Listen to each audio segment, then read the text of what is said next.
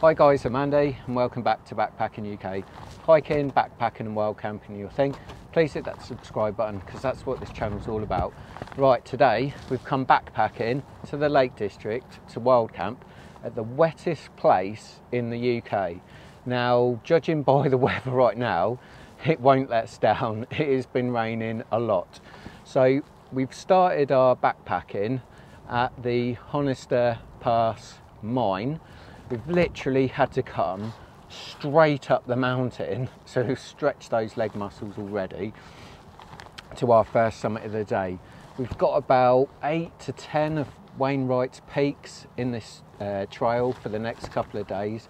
Cannot wait, we just need a little bit of luck from the weather. And this is what we've come up so far, literally, I mean directly straight up this mountain and then it's got really, really rocky and Mark's up there, right at the top. All the paths have turned to waterfalls today, so it could be interesting.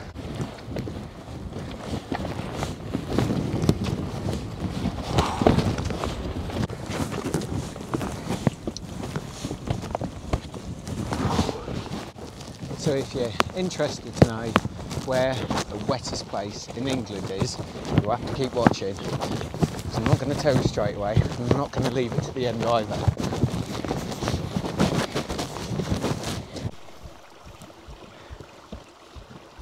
It's an absolute savage start to get up to the top of Grey Knotts, 697 metres high. Real windy up here, 15 kilos on my back, only weigh 70 kilos. This is this is this is tough. It's going to be really hard today. Oh, I'm going to film Mark just in case the fence falls down. You've got to put it back up. so over here you've got Buttermere, Ennerdale. Come round here. We've got Great Gable and Kirkfell. So now we're off to Brandreth before taking on Great Gable must admit, with this payload, I am dreading it, I'm not going to lie. Uh, extreme conditions today. Got full wet weather gear on, so I've got a proper sweat on, but I've also got a trump card, and that's what I'm sleeping in tonight. Doesn't make many appearances, but the conditions like today, you need a top end tent. That's exactly what this is. Mark's been the crash test dummy. See if he can get through this little ton. yeah, I don't think I'll be going first. Tell you what, if you're looking for a wild camping spot in the Lake District, this is an absolute cracker, this is. So this is just between Grey Knotts and Brandreth. On OS Maps. So OS Maps augmented reality view. This is part of the premium package, so. Mark you can just scan round and it'll tell you all the peaks. Oh, I get absolutely battered by the wind now. So here we have haystacks up here and pillar up there.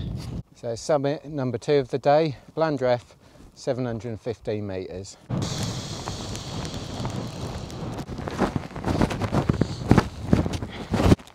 So Mark's just, just decided, aka Extreme Mark, rather than just do Great Gable, we're going to go all the way over here, up to the peak of Kirkfell, back to Great Gable, and then on to the wettest wild camp in England.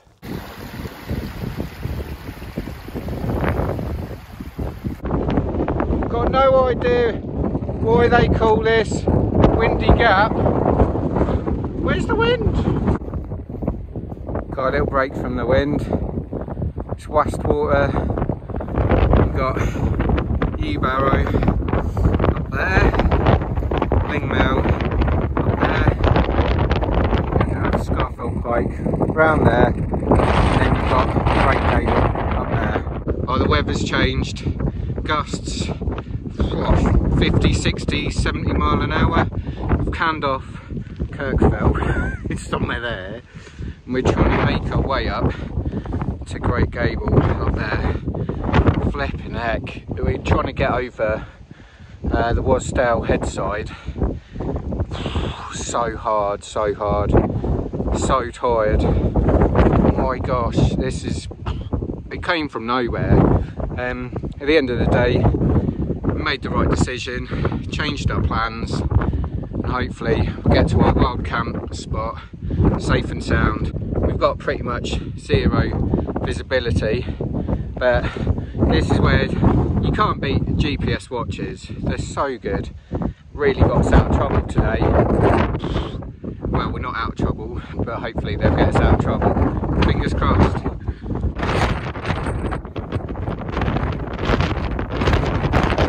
Going.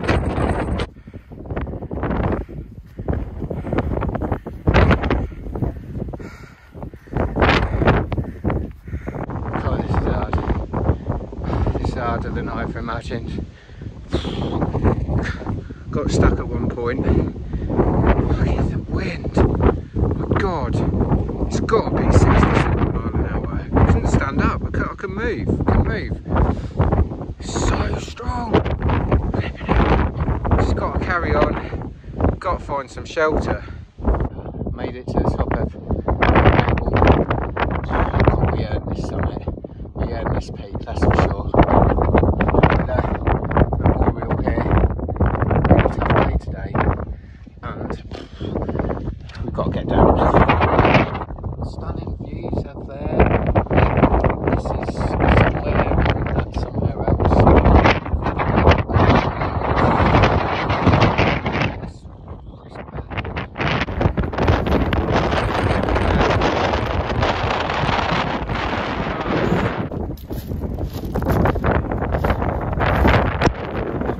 Oh, Styhead Tarn down there. Out we go. Genuinely didn't think I'd see the day. Literally 20 seconds later, no visibility. That's one benefit of it raining. Absolutely stunning waterfalls. Look at that. So nice. That's what you come to the lakes for. Waterfalls, tarns and mountains.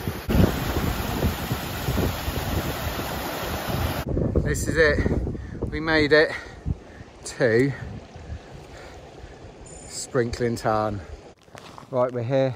We made it to Sprinkling Tarn. God, what a savage journey though to get here. It was tougher than I ever thought. I mean, the forecast wasn't too bad today, but that's the lakes for you. Been hit by the lakes time and time again. Certainly not the first time, won't be the last time. Right, I've got a special tent that comes out just for weather like this when it's wet and windy. Let's have a look. Right, let's unpack. Soulo. Best thing about this tent is you can fix the ground sheet, the inner and the outer and part of the roof all together so it goes up really fast.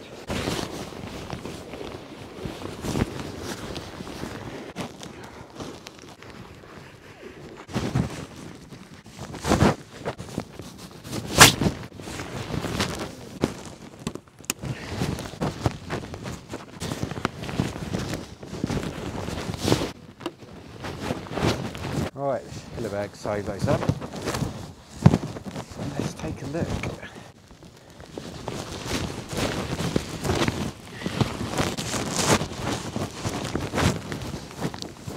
So this is a Hilleberg side, they're all woken up.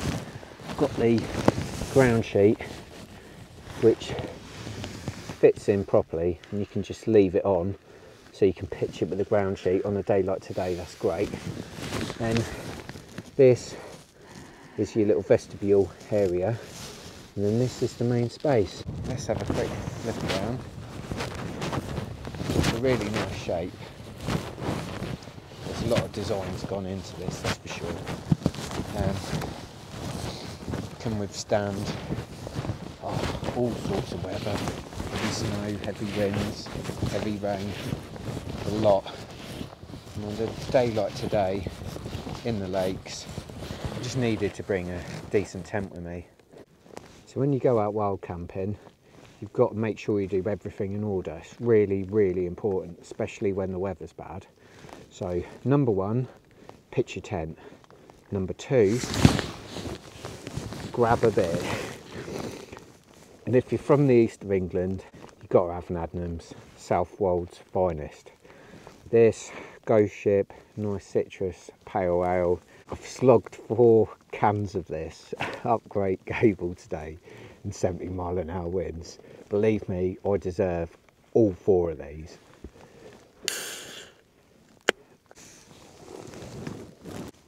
Oh mate, it's so good, it's cold. Mark's got his Nature Hike Monka 2 set up. Done a review on this. Brilliant tent. Definitely not four season tent. But as a three season tent, it's cracking. And finally, the cloud just started to ease off. It's probably about eight o'clock right now. Sprinkling Tarn, lovely place. And round here is our camp. Just about to get tea on before it gets dark. Lights on now. It's my sleeping setup for tonight. Classic OEX four season sleeping bag, my mountain equipment, sleeping mat, which is insulated, I must say, and they're cheap and cheerful, but bloody comfy. The Trekology Lift 2.0 pillow. Right, so I've got MSR Trail Shot, a couple of Platypus foldable water bottles. Just want to fill them up, get some water. One for my coffees in the morning. No, I need them, that's for sure. And the other thing is, I need the water for my Jetboil to boil up my pasta. So in a couple of minutes, I've got two 500 ml bottles of filtered water that I can cook with and drink with. So this is our camp. Best thing about our camp, we've got a kitchen. Have a look at this. How lucky is this? We've got a perfect spot. Oh no, I mean the perfect spot. How many wild camping sites actually have a kitchen? Look at this. Not bad, eh? Nicely sheltered. So what I'm going to do, using my Jetboil Minimo, tried and tested, absolutely brilliant bit of kit. I've got Tesco's finest uh, beef portobello mushroom and red wine ravioli, which I can't wait to tuck into. Best thing about this, only takes about three minutes to cook, so you won't use a lot of gas. And to top it off, it's cold, it's wet, it's windy. Oh, a nice bit of spicy sauce. Tesco's Arrabbiata. That's going to have a nice little chili kick to it. Looking forward to that. Best of all, let's sink some of these. Right, let's get cooking.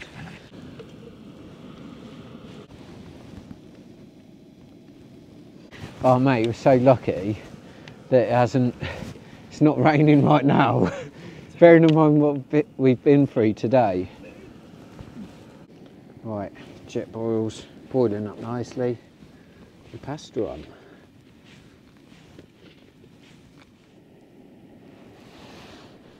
Right, that's it. Ravioli done. Let's get it drained. Let's get the sauce in. Right, sauce going in. Oh, that. That's it. Pasta's ready. Mark, what you got there, mate? I have a beef and potato pot. Nice. Expedition food. 800 calories for a big boy. After a great evening, it's unfortunate, just come to bed. It's just started raining. The wind's just picked up. So, morning. yeah, not ideal. But see you in the morning. Morning guys, made it through the night.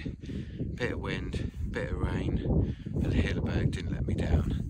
And this is where I'm going to make my coffee this morning on my own little island right in the middle of Sprinkling Tarn.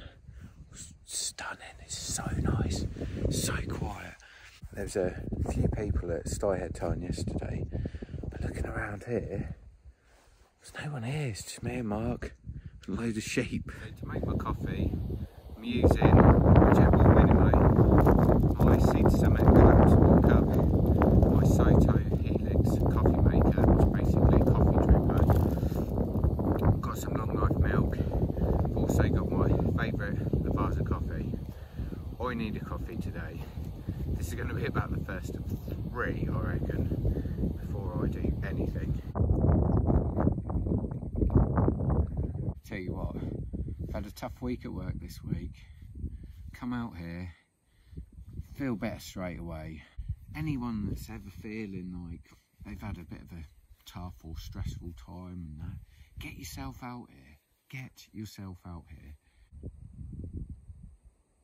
Brew time. How you doing, Mark? You alright? How you doing? Not bad, how are you? Wicked night's sleep. as expected. Number two, I'll be buzzing. I'll be running up those mountains. The thing is stop stop raining about five. Gotta finally get to warm my hands. I feel for you that you, you can't do coffee. I'll have my apple, mate, in a bit. Yeah. Apple versus coffee. Which wakes you up the best? Has it got to be a special type of apple to wake you up? Any apple? Where did you read that apples wake you up better than caffeine? That is on Facebook. All the facts are on Facebook. I've always said be suspicious of small four season sleeping bags. Be very suspicious. Breakfast today is Tesco's oat granola flapjacks.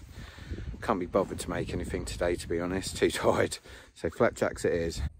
So where I pitched my tent, pitched it in a very sheltered space here in a little cove.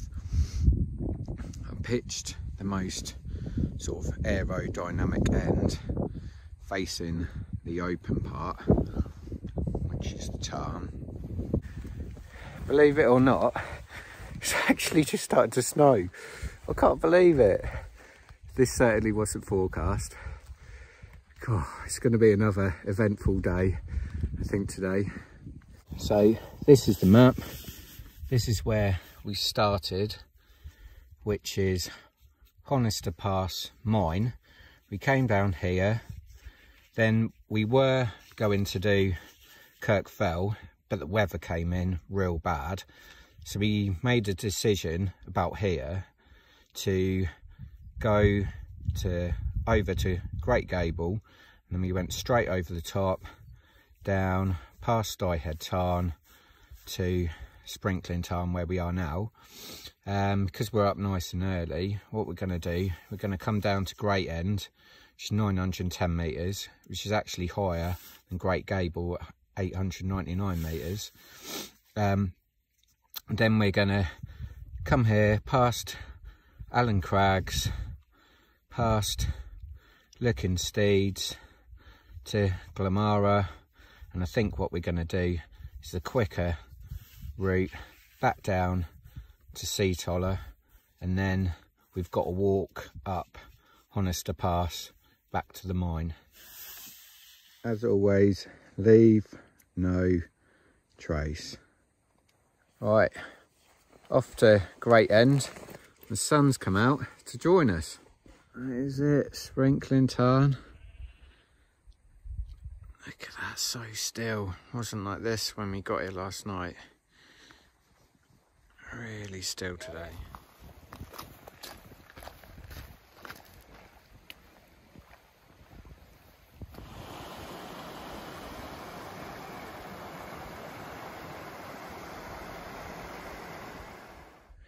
First summit of the day, great end, 910 metres. I've absolutely flown up this.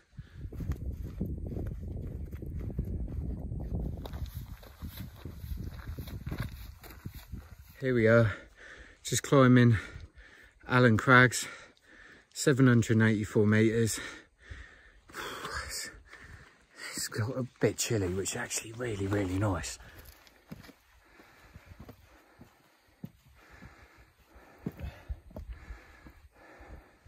Right, Allen Crag Summit, 784 metres.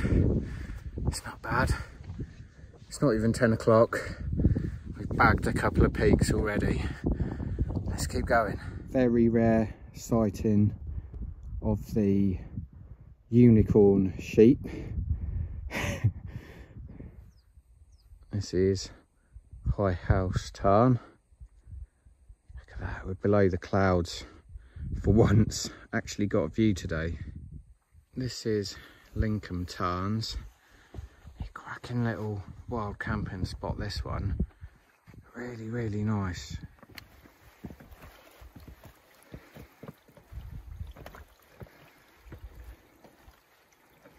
That's where we were, Sprinkling Tarn. Just at the base of Great End, which is in the clouds today.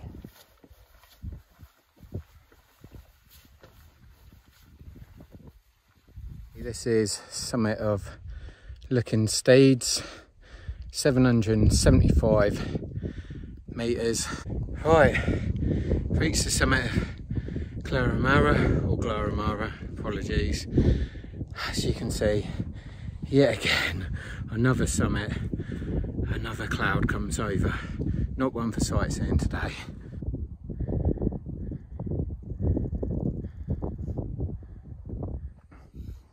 It's Mark just descending from Glaramara.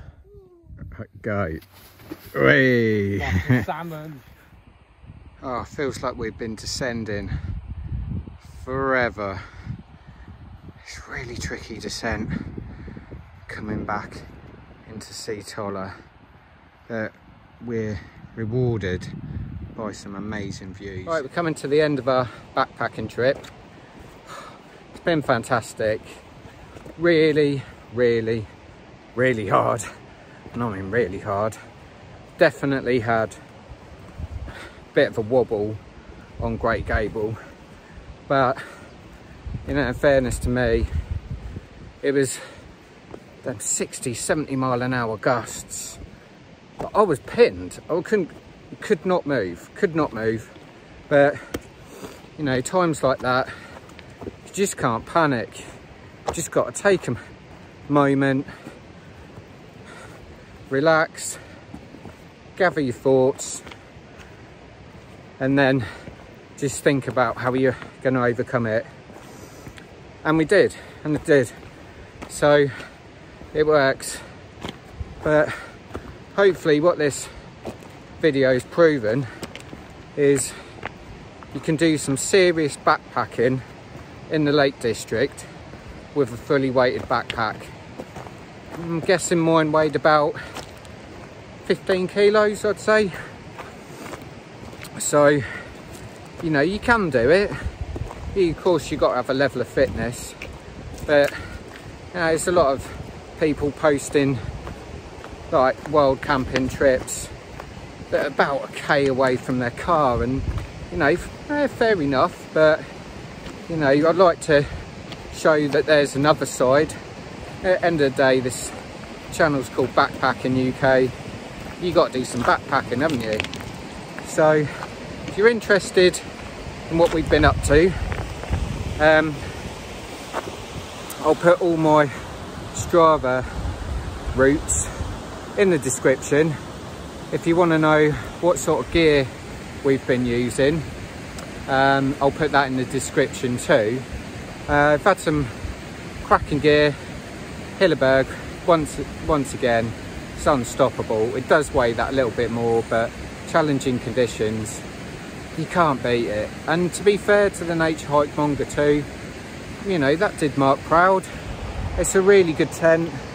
Goes to show you don't have to have a Hilleberg to, you know, get you through the night.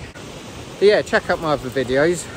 Got loads of gear reviews out there. Got about 90 videos at the moment. So please check them out. Um, but try and get out and hopefully see you on that mountain soon. Cheers.